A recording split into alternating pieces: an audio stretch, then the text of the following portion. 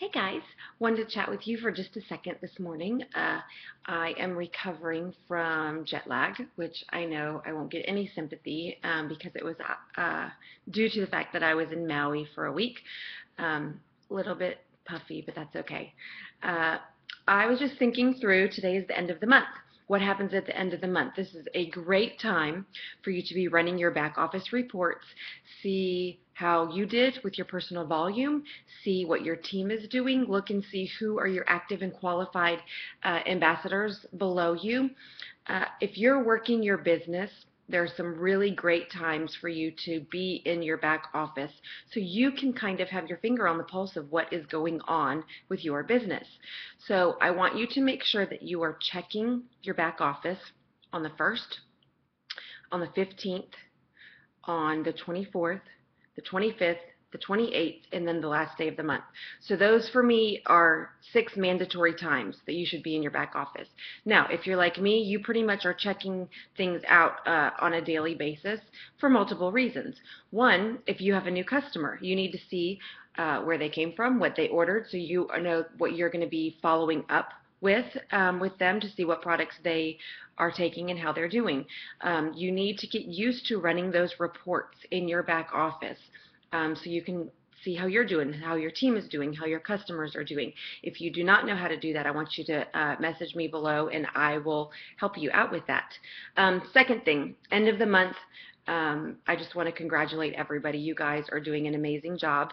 Um, a lot of you had uh, increased sales, and I'm very proud of you. I've got some new people who are just um, rocking and rolling. Uh, I've got uh, some great rock stars who have signed three, four, five, seven, even nine new ambassadors in one month. So you guys, anything is possible. If you set those goals and do the work to get there, you can do it. Now, one of the most common questions, what is that work that I need to do? We all need long-term goals. We need a long-term vision for what am I doing and why. But we also need the short-term goals of this is how I'm going to get there. So I want you to think about tomorrow is the beginning of the month. It's a brand new month. Everybody likes Mondays to start over and be new days of a month. It's just a great time to say, okay, what's what are we going to do? Regroup, uh, focus, and let's move forward. So I want all of you to think about what is your goal. What do I want to accomplish in this new month ahead. Um, and it's not just going to be, oh, I hope I get two new customers. Um, if you set that goal, it's going to be, I'm going to find new, two new customers. And how am I going to do that? I'm going to talk to at least 20 new people. Because of those first 10 that I talk to, one might say, yes, I want to take a look at your products or your opportunity.